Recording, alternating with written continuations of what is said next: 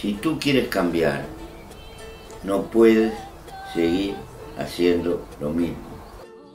Nosotros pensamos hacer un experimento, a ver si le sirve a la sociedad mundial, para que la gente lo vea, para aprender sobre la práctica.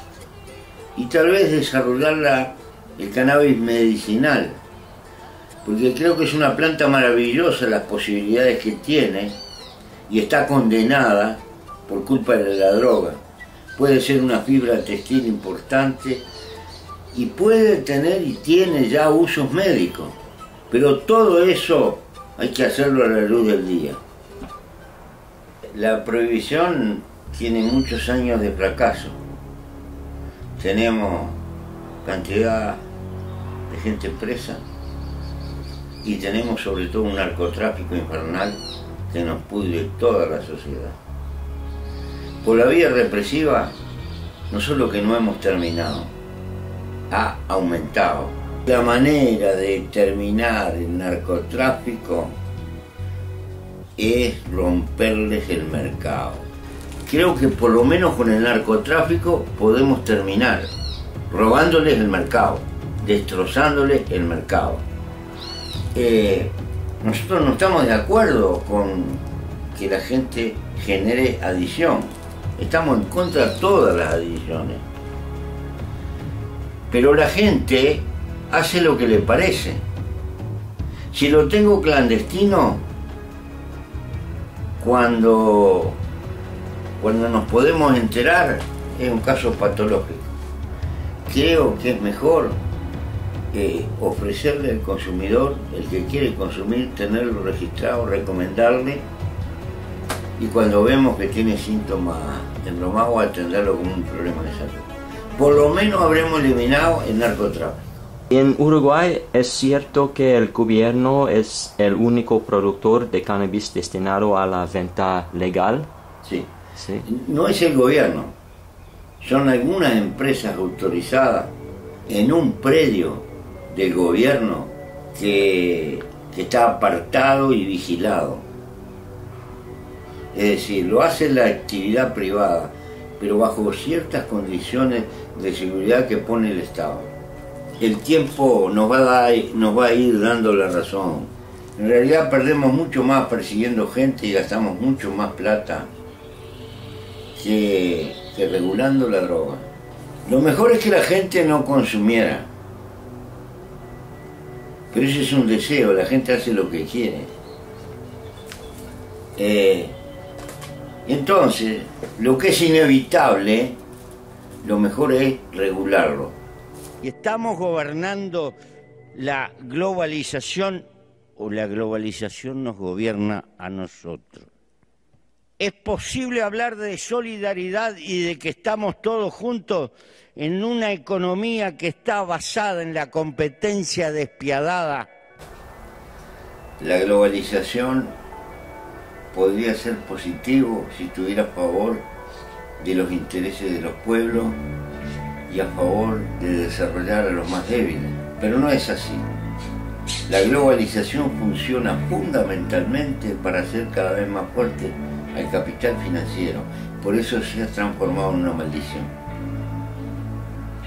Consecuencia de una civilización que se ha ido desarrollando con el empuje del mercado, con el afán de la ganancia, con la desesperación por acumular riqueza, y ha transformado en mercadería eh, el grueso no solo de las cosas, sino hasta de nuestras relaciones de carácter humano.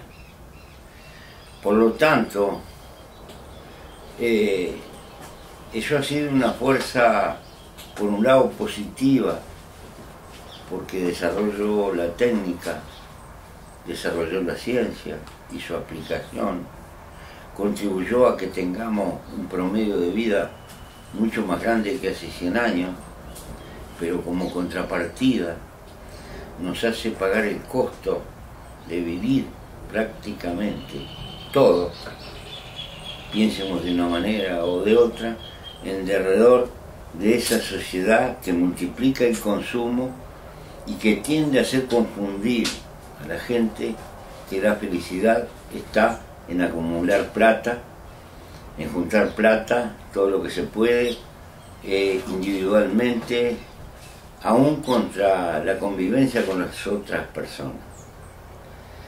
Esto está impuesto, es, es la cultura de Occidente, que se ha desparramado por todo el mundo y que no sé si logremos, lograremos superar. Eh, de momento lo que veo es posible individualmente, familiarmente o por grupos humanos, no dejarse dominar por el mercado y tener una, una pérdida de disciplina y una voluntad de no ceder a las campañas de propaganda, de marketing, de hacernos comprar, de vivir desesperados. Si vivo desesperado por comprar cosas permanentemente nuevas que me plantea y todo lo demás, eh, tendré una apariencia de persona rica, pero soy pobre, porque no, tiempo, no, tengo, no me queda tiempo para las cosas fundamentales de la vida, que son tiempo para los amigos, para la familia, para los hijos, para las relaciones humanas. Hay que levantar el viejo concepto griego. El infierno y el paraíso están acá, en este mundo. Eh, y la vida es un milagro. No sabemos ni de dónde venimos ni a dónde vamos. Lo que tenemos para vivir es este tiempo de vida. Me parece que lo otro es malgastarla. Es una manera de pensar yo quiero dejar en claro que creo que la gente para vivir necesita trabajar. El que no trabaja está viviendo a costa de alguno que trabaja. Pero la vida no es solo para trabajar. Tiene que tener un límite, un tope. Después hay que tener tiempo para vivir. Nada es bueno en demasía. Es decir, ponerse límite a las cosas. No es posible que trabaje 10, 12, 14 horas por día. No es posible que después de solucionar el problema de la vivienda, de la casa y tener de qué vivir, tenga que seguir desesperado acumulando plata y acumulando más plata y más plata y preciso una casa en el balneario y tengo que cambiar el auto y después comprarme un yate y después un avión y no tiene sentido eso. Porque vida hay una sola y se nos va y no por tener mucha plata puedes ir al supermercado y comprar más cinco años de vida. Entonces yo no soy pobre. Pobres son los que precisan mucho, porque no les alcanza nada y se les va la vida desesperadamente en, cuidar la plata, que no los roben, que esto y que el otro, y siempre más, y siempre más, siempre más, hasta que llegamos a un momento que nos fuimos de la vida.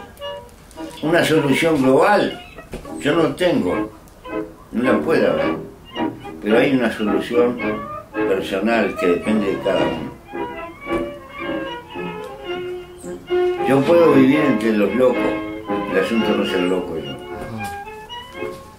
Soy una especie de tirador solitario de ideas que tienen que ver con la felicidad de la gente. Y aunque la gente no pueda ser mucho de lo que yo planteo, mucha gente se da cuenta que tengo razón. Pero no soy yo. El problema es que hay mucha soledad y mucho egoísmo en el mundo. Y entonces la gente sintetiza y me agarra como símbolo. Pero en el fondo no soy yo que tenga mérito, es la necesidad que tiene la propia gente gente necesita creer en algo. La gente necesita creer en alguien. Eso es lo que pasa. Por eso se pone camiseta. No es para tanto. Yo no soy tan importante.